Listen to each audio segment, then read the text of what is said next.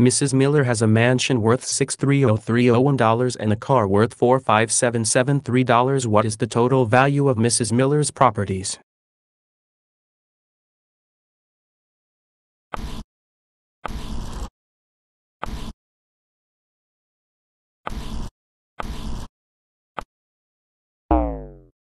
Let's look at this together.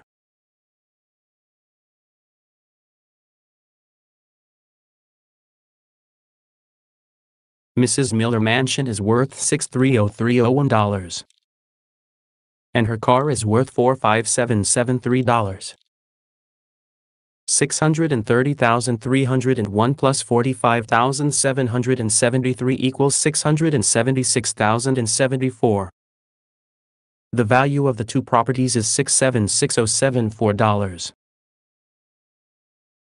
You write 676,074?